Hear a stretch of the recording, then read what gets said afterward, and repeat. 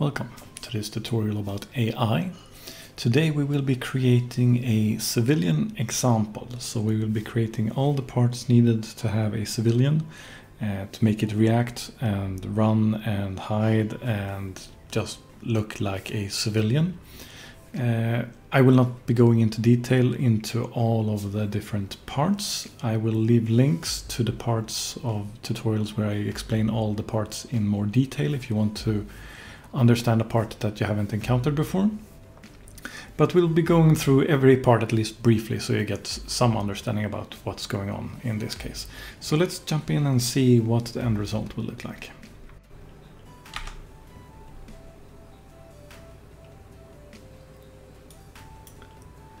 So this is what we will be creating today. We have an AI which is just walking around being idle and picking random points to walk to and um, just taking care of its own business, walking around slowly, and then at any point where we press a key, we simulate being shooting a gun, and it will run away to some place where it is safe in relation to that gun uh, shot that was heard. And it will stay in safety there for 10 seconds until it determines that it's safe again, and we can do the same thing again. And you can see it's essentially trying to find a line of sight spot where it finds safety.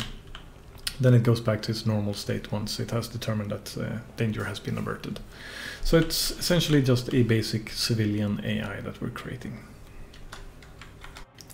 So here we are inside of Unreal Engine 5 and this works just as well in Unreal Engine 4 of course, although the visuals might be slightly different.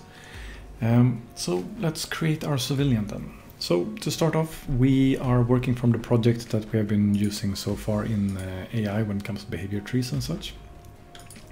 So what we will be doing is we will just be adding a new folder and we'll call this civilian so we have it a little bit organized. And hold on, I have some cats fighting here. Sorry about that interruption. Um, anyway, so to continue, uh, let's create a child of our AI character. We'll call this BP uh, civilian move that into our civilian folder. Inside our civilian folder, we want to create uh, a behavior tree. So we call this BT civilian. We want to have a blackboard for our behavior tree, so we go to artificial intelligence and blackboard and call it BB underscore civilian, like so. And Let's go back to our AI character and do the following. So this is the parent character. Uh, what we want to do is we are at begin play, wherever that is. Let's find it. Um,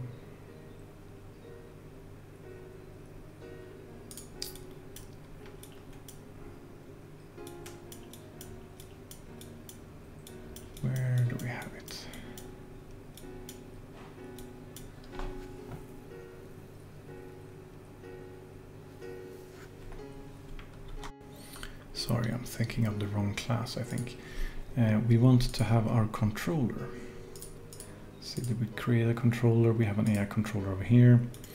And we'll create a blueprint class of that as well. Call this one um, civilian controller just so we have everything separated and available to change if we want to.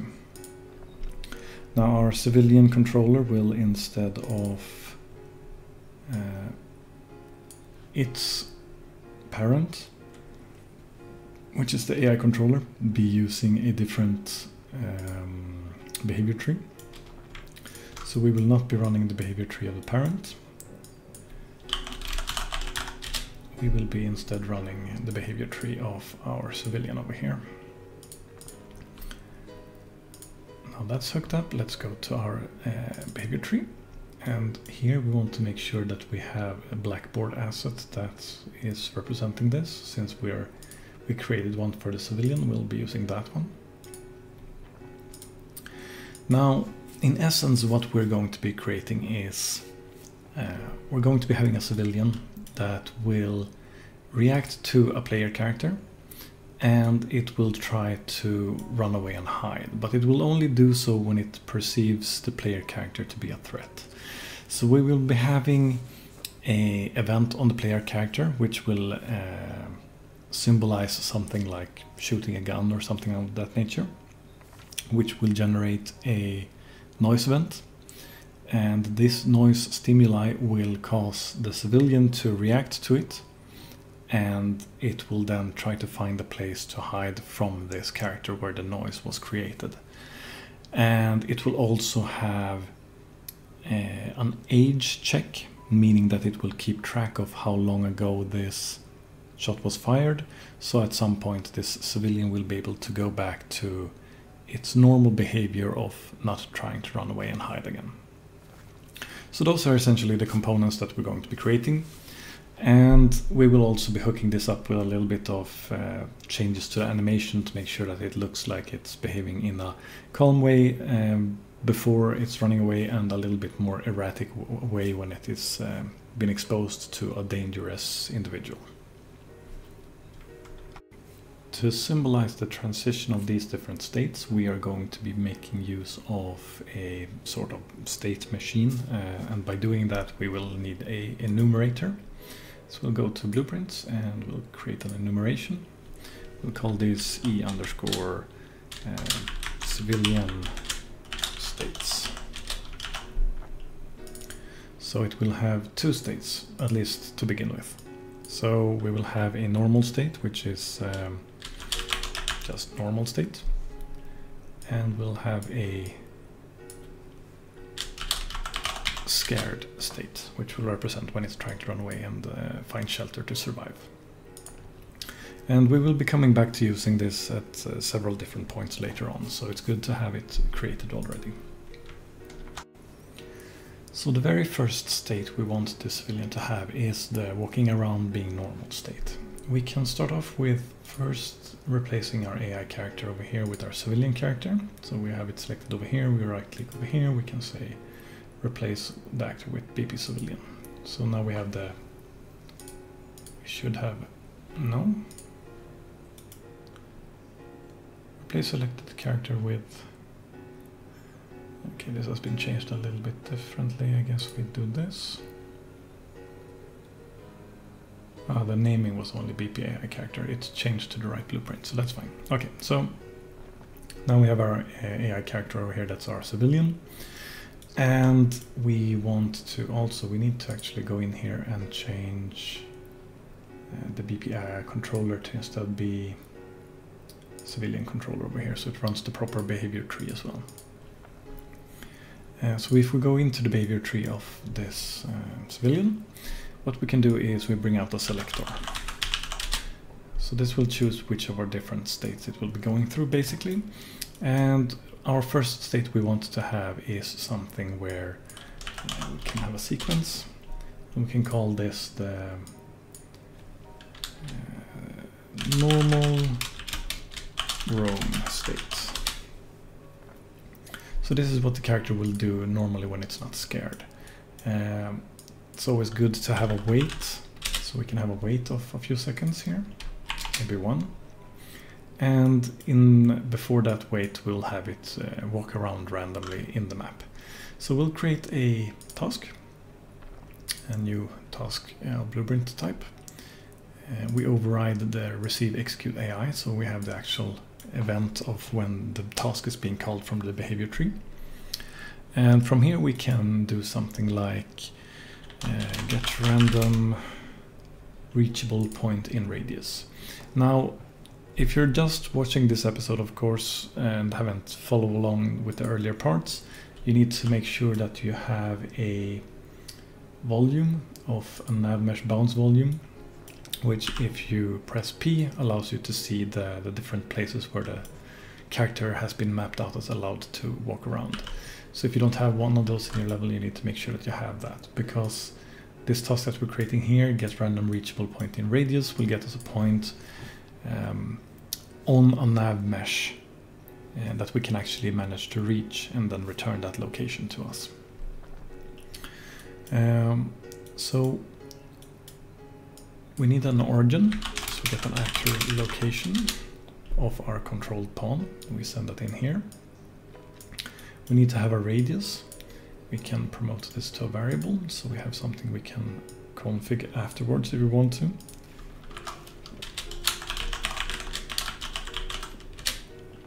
Wandering radius, let's give that a default value of something like, um, let's say 300. That's 3 meters, that should be reasonable I think. And uh, yeah, that should probably be fine. And then we want to actually store this information. So we will do that with a Blackboard key selector that we will be exposing. So we'll call this um, new wandering destination. And we'll make it a Blackboard selector and we'll make it instance editable so that it's actually shown outside and we will then uh, make sure to set that blackboard selector with our location that we have gotten now randomly here. Since we are talking about location, we want to have a vector set. So if we drag out this uh, reference to our key selector, and then we'll type in uh, set blackboard value, and then you have as vector over here. Then we'll plug in our random value over here. Of course, this only is uh, working if we're actually uh, successfully doing this. So uh, you might want to have a fallback state here if you want to. However, if we have not managed to get a new location here, I'm expecting us to just stand still, which is fine also for debugging purposes. So for, for this simple example, this will work fine. Like so. If we have managed to reach this far, we can now then say that we have finished executing and we can say that this is a success. Like so. We'll go back to our uh, behavior tree. Let's close down a few of these things since we don't really need all of them. It makes it a little bit easier to work around. So our behavior tree over here, we will take out and make a task of this task that we just created. However, we get a default name by creating it, so we want to rename this. We'll call this BTT for behavior tree task and call it uh, wandering position. Let's call it determine wandering position. Like so, we'll go back to our tree. We will call on the task and here you have our determine wandering position. Now it wants to know what kind of a key should we be setting this to. So we need to go to our blackboard now. We need to add a key of type vector. And we'll call this our wandering location. Like so. We go back to our behavior tree. And we'll make sure to have our wander location to be set as our new wandering destination that we determine inside of this task. And after we have done that, we also want to actually go to whatever place that we have determined, right? So we'll have a move to, and we'll make sure that it's using the wander location over here to determine or to go to. Let's just try this out and see how this works. So we'll make this window over here so we can actually see it working while we're playing around. And like so. And here we have our character. It's determining a position, it's moving to it, and then it's waiting. It's not super great, but it's it's fine for now. We will be tuning it a little bit later. Uh, so that seems to be working, that's good. And other than that, we want to have the state where the character is actually scared and trying to hide. So let's bring out a sequence for this and we'll name it um, scared. Trying to hide. Like so And because we want to make sure that this only happens when the character is scared, we want to have a decorator on this. But we don't have anything to keep track of that shows us if we're scared or not right now. So let's add a key for that specific instance. So we'll go to our blackboard, we'll add a new key, we'll make it a boolean. We will say is in survival mode. And then we can go back to our tree again. We can go to our add decorator on our node and we can say we want a blackboard to check against. We click on this we can say that we want to check is in survival mode and we want it to be set, meaning that we want it to be true. And only when that is true, we will be running whatever logic we have here. So what logic will we be having here? Well, essentially what we want to do is we want to make sure that we are hiding from the noise of what scared us. So we will be adding some environmental queries to this later and trying to find uh, a place to hide. And then as that changes, the conditions for this will change and we will go back to this again. So let's actually start off with uh, working on that environmental query to determine where should we be going when we are scared. So we'll go out here and since we have our previous tutorials we have gone through, we have this uh, testing pawn here already. But if you're starting watching this and you haven't done those parts yet, let's just start this from the beginning. So we'll delete that pawn. And what you need to do is you need to create a EQS pawn. And what we have done is already, this is here, this is BP EQS pawn. You create one of those by going to blueprint class and typing in here EQS. And then you get a testing pawn here. Actually there. Then you create one of those and you have one of these. That by itself is this is all you get. So there's no change between my testing pawn and your testing pawn right now. What we need to do is we need to have a query template for it here, for it here to run so it can actually show us what we're after. So let's go ahead and do that. We'll go back to our civilian folder. We will right click and then I apologize. I had to go uh, take care of my cats for a little bit. Um, where were we? We wanted to create a query. Uh, so we right click, we go to artificial intelligence and we go to environment query. Call this uh, EQS and then call it um, uh, find hiding location. Then we open up that and we'll create a generator and we can create a pathing grid to get a number of uh, points around us that are of interest. And let's actually just enable this immediately now on our, we'll save this and put this on our pawn, our testing pawn. So we can get a feel for what we have done. So this is what, we, it, what it will be looking uh, like right now. So what we want to do first is we want to find a point where the character that we're uh, trying to hide from, or rather where the sound was uh, originating from, cannot be seen. So if this player over here shot a gun over here, then maybe we would want to run and hide behind here or behind here if we were standing somewhere here. If we were standing somewhere over here, then we would want to run around and hide over here.